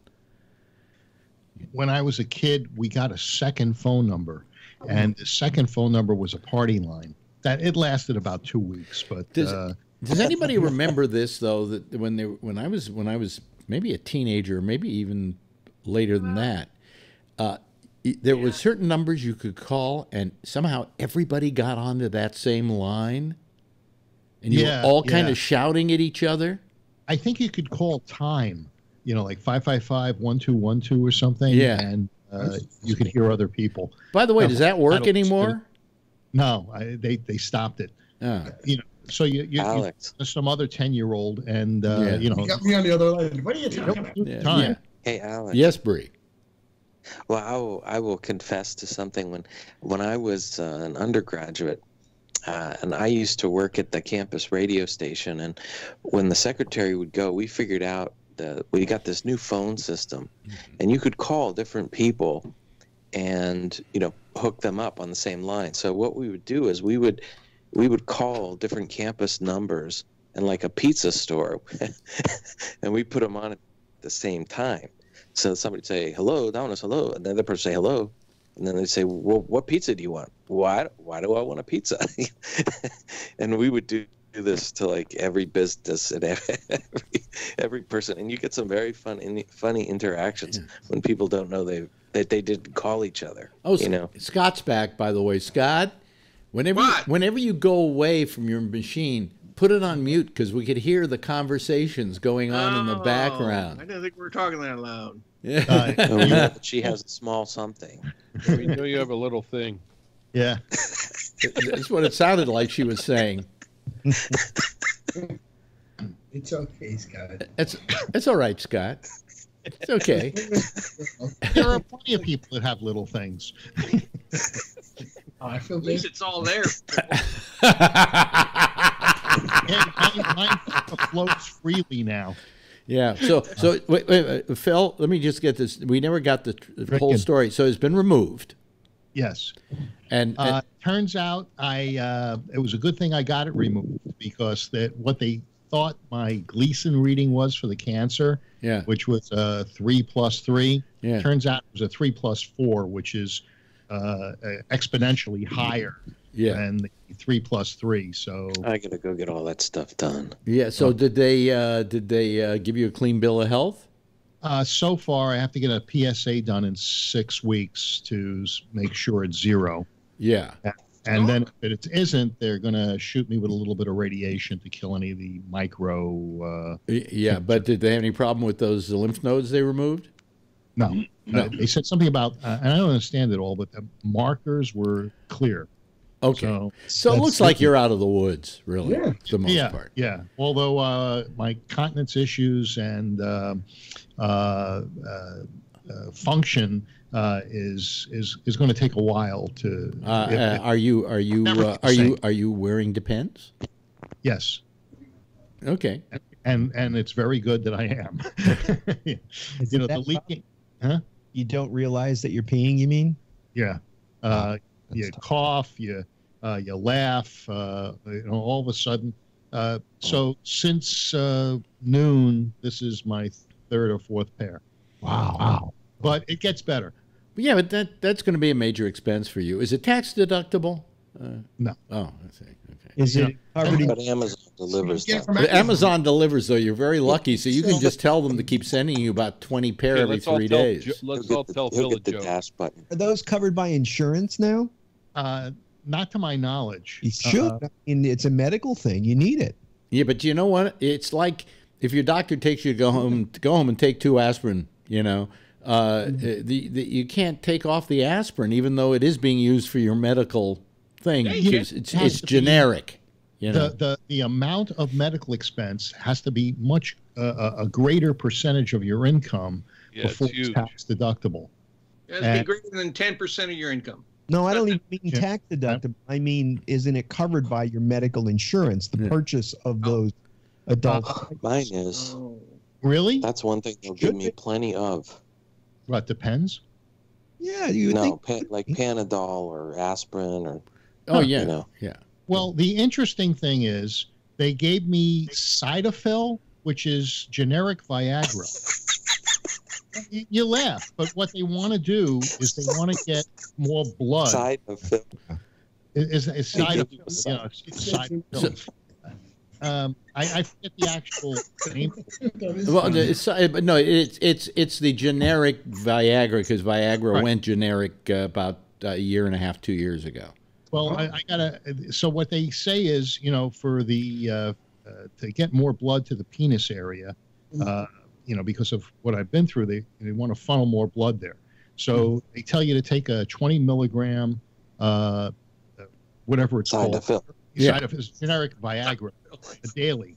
Now, uh, so they gave me a month's supply today. It was five dollars.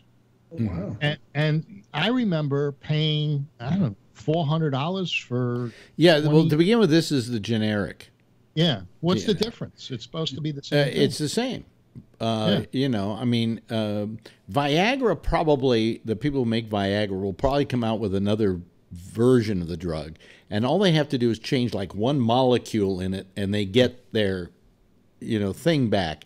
Um, uh, but I do know that, for instance, Cialis uh, is very expensive. I had to get a, a you know, a, what do you call it? A, uh, Uh, special. uh, yeah, whatever you have to get your the doctor to write or call write them and say here's why you need it but it was uh, it, they were going to charge me you ready for three months worth $1500 Right. and now for three months it's 125 and it's still but that's still the most expensive drug i'm using all the rest are amazingly cheap my mm-hmm. you know Well, Y- I- uh, yes but yes jeff I'm paying about seventy dollars. Yeah, I'm paying. I'm paying about forty-one dollars a month for it now. You know, for the Cialis and for the Rovastatin, which I was paying thirty-five for. I'm paying something like I don't know, ten dollars, fifteen dollars a month. Now, Mar- Marjorie was saying that she was concerned that she couldn't get certain drugs that Oh, she had. well, to no, it on. turned out it's not a problem.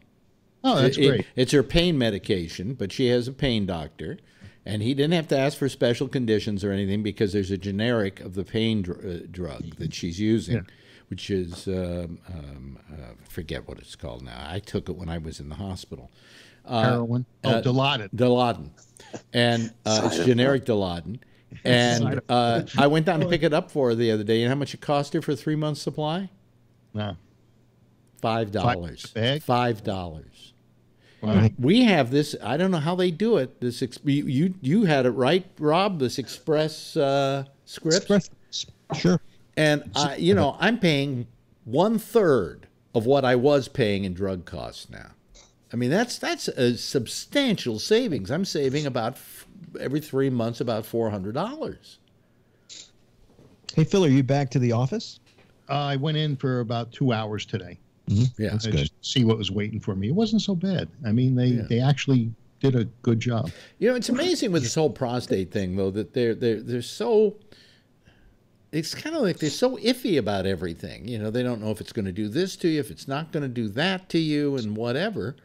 And you and you wonder why, because you know you would think by now they've got it down to a science, and they know exactly what's going to happen, and they know exactly what to do so you won't be incontinent. blah, blah, blah, blah, You know, and yet they're don't have to get your prostate removed, don't do it.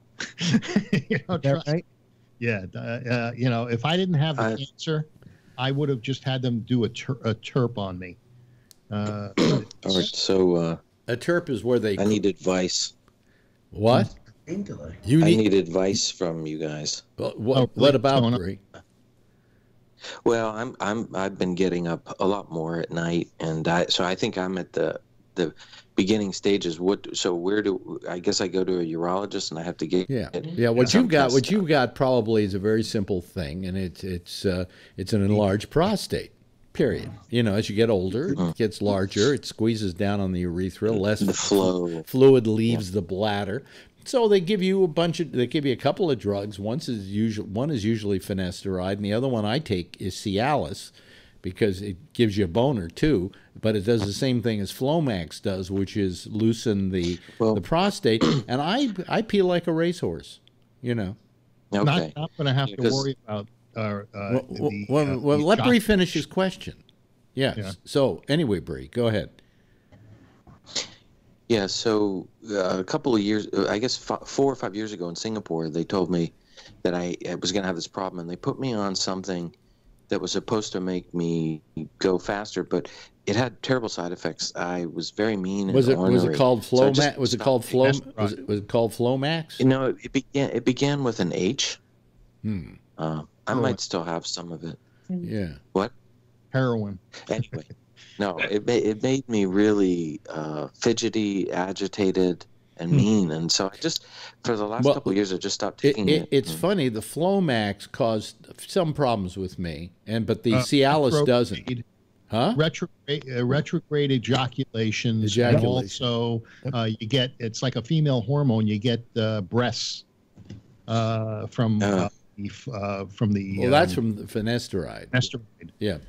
Yeah. Uh, I, I would do Bree if I were you, uh, and I wanted some relief. Uh, I would get the Cialis, which did provide me with relief during the. Uh, It didn't work for me. I tried the Cialis. It didn't work. Really? Yeah. But so so when I go there, do I get a PSA test? Is that the Yeah. That's one of the things. yeah. Okay. All right. I'll, how old are How old are you, Bree? I'll have to get that done.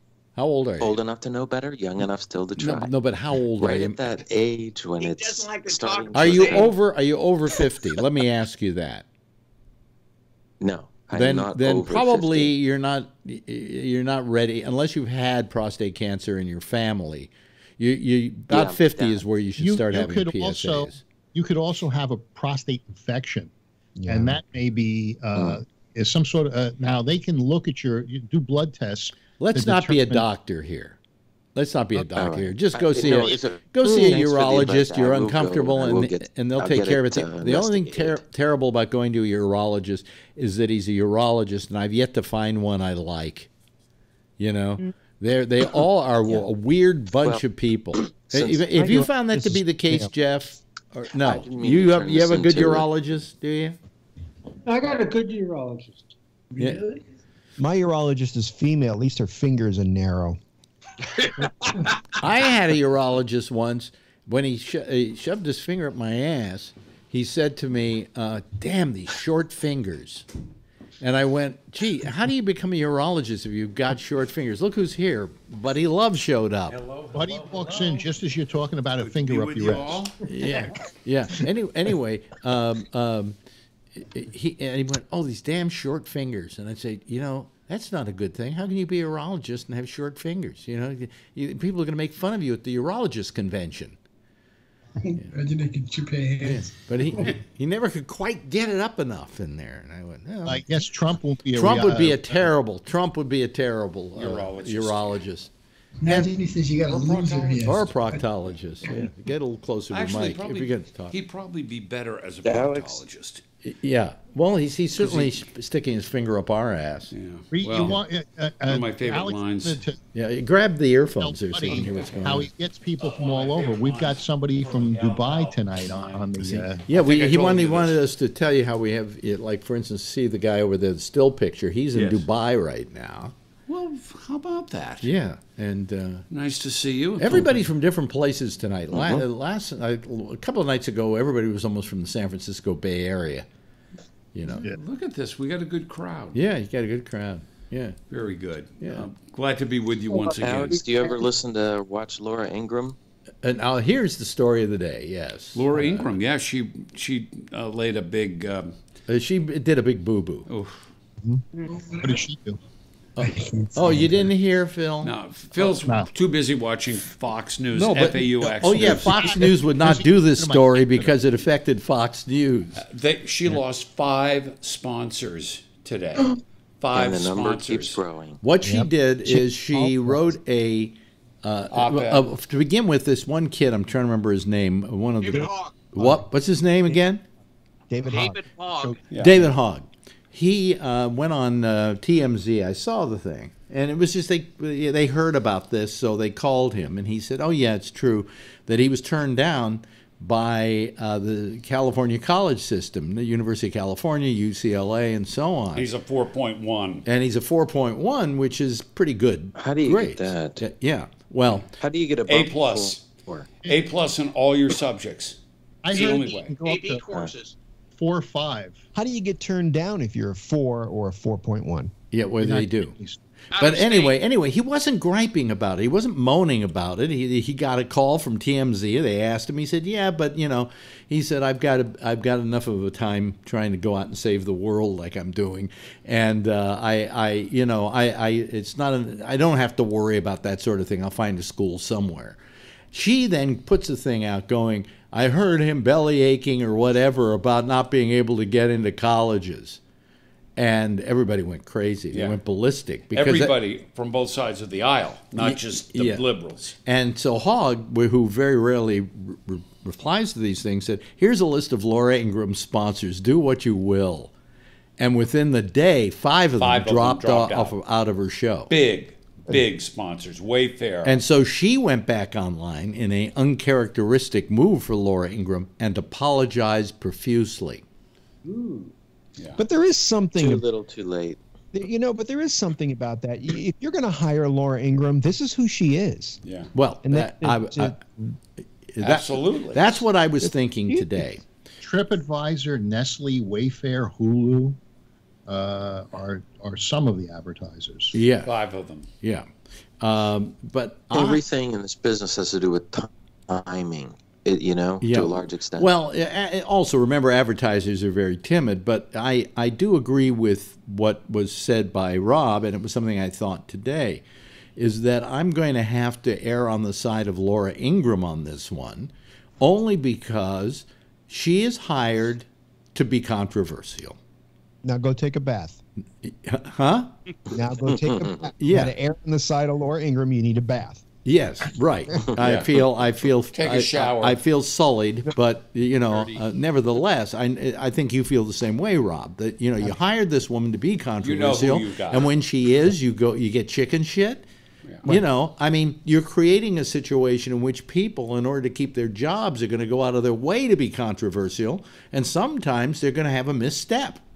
And that's like what Mel Karmazin did with Howard Stern. He stood exactly. behind him. Yeah. He stood by him in spite of the fact the FCC was talking about taking licenses and doing this and doing that. And he just threw every legal thing he could at the FCC and said, fuck you. You know, this is my talent. I hired him to do a job. He's doing it. And uh, you can, you know, you can blow me, basically.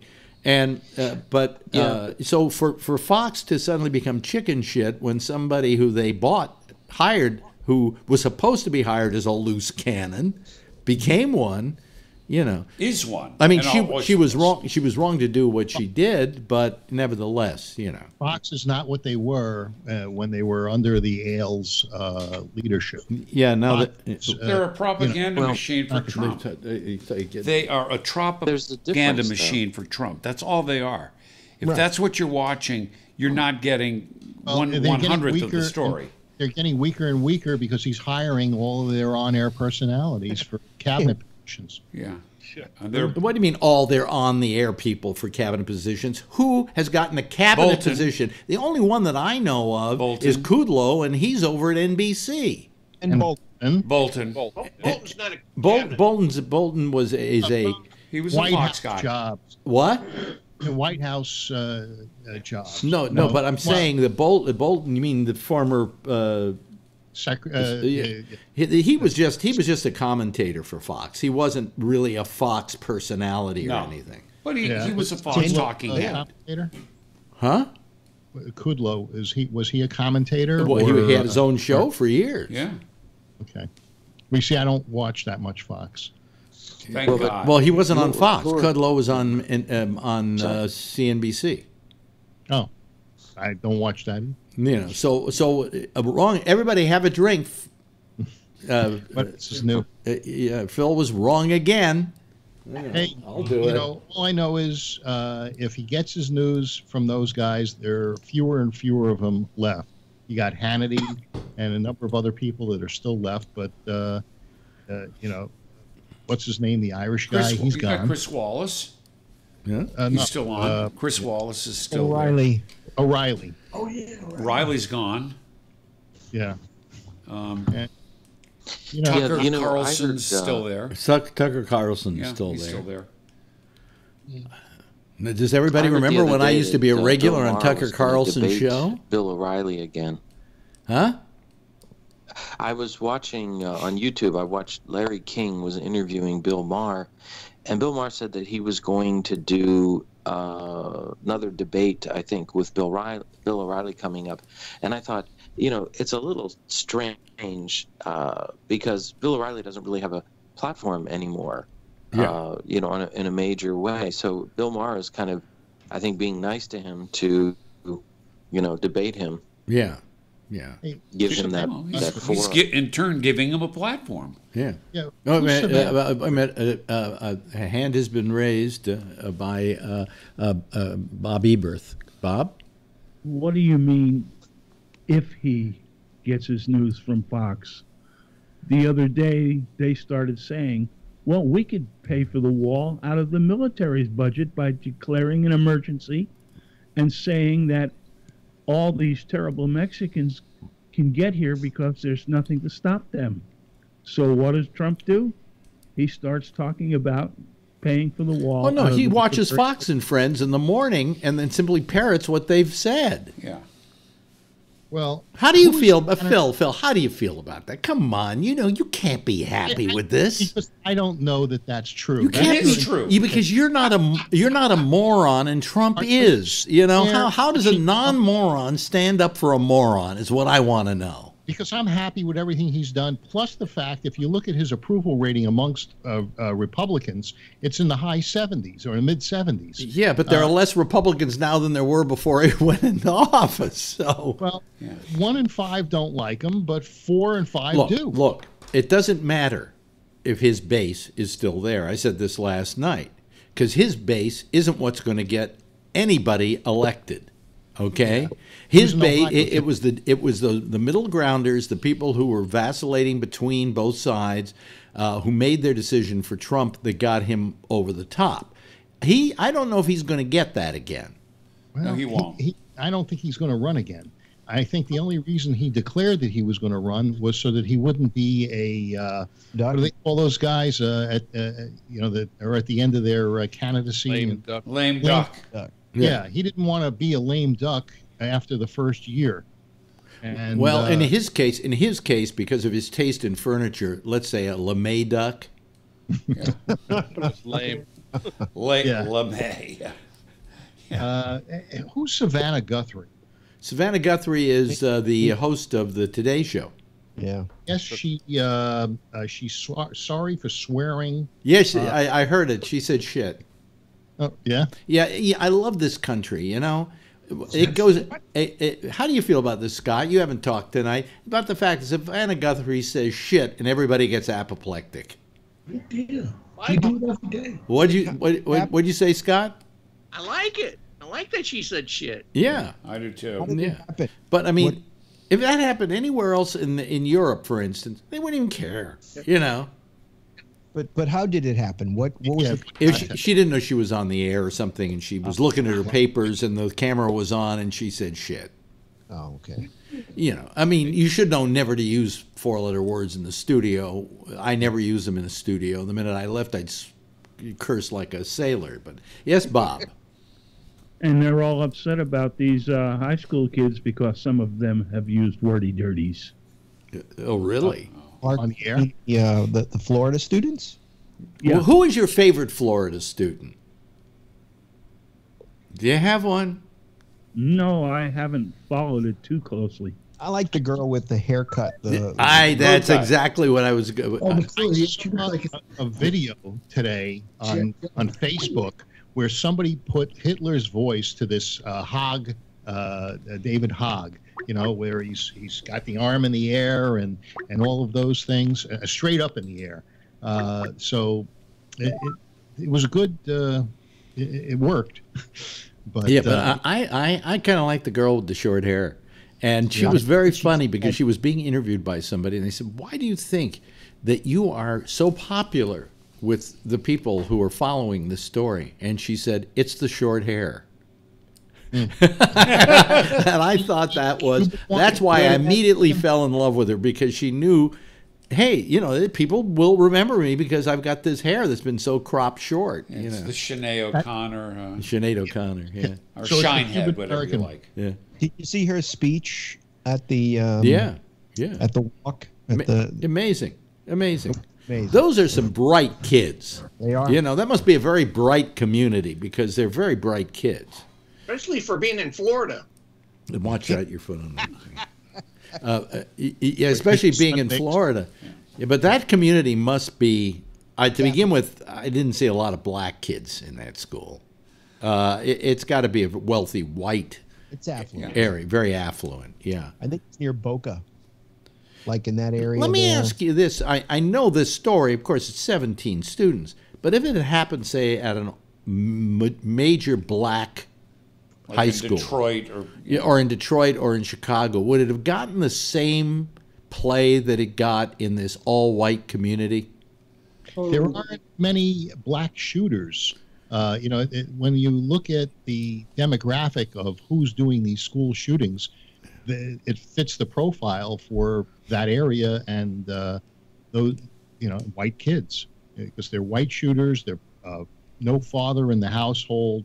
Usually, they're using some sort of drugs like psychotropic drugs. Oh, here you go with your psychotropic drugs. You heard And- that one place somebody giving that that that. Uh, Well, you just don't like Scientologists, but uh, oh, they don't like I don't just not John like Paul Stevens? Scientology. I abhor Scientology. So uh, you know they don't like they don't like drugs and they don't like psychiatrists. Uh, the- yeah, yeah, and they also don't like anybody criticizing them. Yes, uh, Rob. To answer your question though about whether if it happened in a black community and the and the students were you know black, I, I think I would like to think that it's the eloquence of the speakers of the chil- of the kids, and if it, it you know that it would ignite the same passion in people. I'd like to think that. Do you think, for instance, this kid Hogg? I look at him and he's really very articulate. In fact, uh, Marjorie said from the first day she saw him, he's going to be a politician He is. someday. He's, he is a politician. and he is a politician already now. Uh, and and uh, but I've kind of felt as I watched him that he's kind of getting a little, uh, shall we say, enamored of the spotlight. Yeah. Is that the best way to put it? Do Full you of feel, himself? Well, it's not full of himself, but well, they're he- meeting famous people. They're meeting all these rock stars, you know, that that performed at these events and being treated. You know, they're going. I'm sure they're flying first class. I wouldn't be surprised. You know that the like Oprah and all these people that have backed them. Yeah. they're flying all over the country and they're seeing the world and you know. Yeah, there were two of them here. You know, when I look at the in the infrastructure that, that was set up for the the marches in not only in Washington but all over the country, there was like these huge stages with large sound Yeah, systems. yeah. That I mm-hmm. know from experience. This stuff costs money.